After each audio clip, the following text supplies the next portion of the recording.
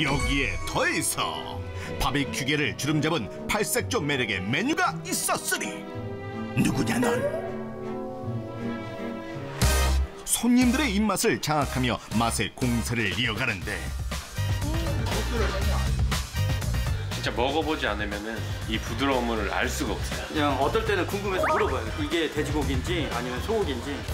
얘는 등심이요. 제주도 등심으로 오, 돼지고기예요? 맛있는 바베큐를 만들어 보자 해서 시도한 거고 지방은 살코기의 3분의 1 정도 남겨주고 오일 마사지를 해주는데 이때 갑자기 수상한 가루 등장 저희 비장의 럽입니다.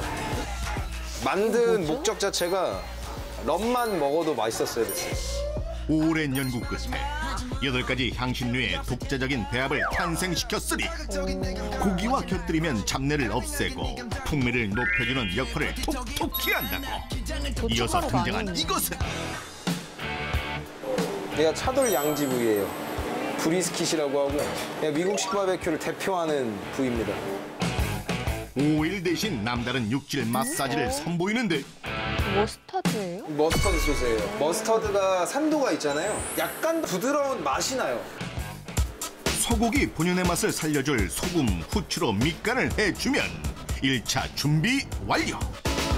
고기왕의 철저한 진두지휘 아래 자리 잡는 형형색색 바베큐 군단.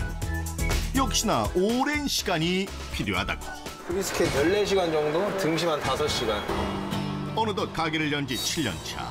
독학으로 부딪히며 시작했다는데 설계도면 갖고 가갖고 만들어 달라고 쫄랐죠.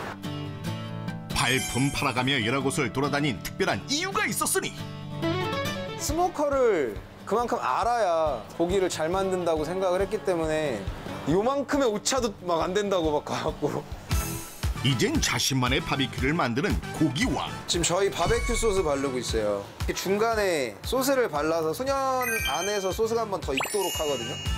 직접 만든 소스를 바른 덕에 감칠맛은 더해지고 맛깔스러운 비주얼까지 갖췄는데 어디에서도 맛보기 힘든 고소한 육즙과 부드러운 풍미는 물론 탱글한 속살까지 느낄 수 있다고 쉼없이 이어지는 맛의 대향연 썬텐한 듯한 검은 육질이 시선을 사로잡는다 바크라고 불러요.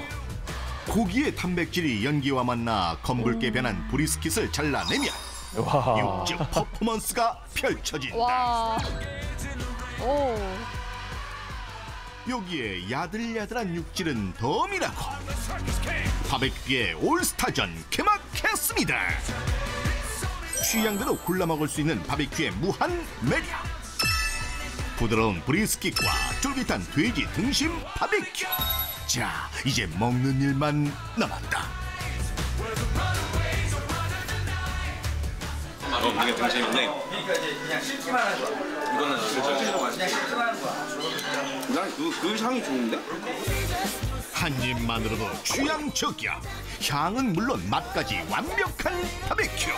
미국 맛도 있고 외국 그런 외국의 그런 멋도 있고 분위기 내기는 되게 좋은 것 같아요. 입에 들어가면 이가 없어도 먹을 것 같아요.